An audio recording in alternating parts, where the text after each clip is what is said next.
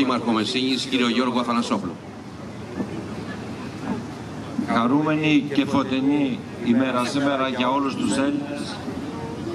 Ο καταγιασμός των υδάτων εδώ του ποταμού Παμίσου δίνει ευλογία στην πόλη μας, στο Δήμο μας ε, και από την άλλη μέσα από το συμβολισμό του Παμίσου σαν μια ζωοποιός δύναμη που δίνει ζωή στην Μακαρία αντλούμε και εμείς δύναμη να συνεχίσουμε.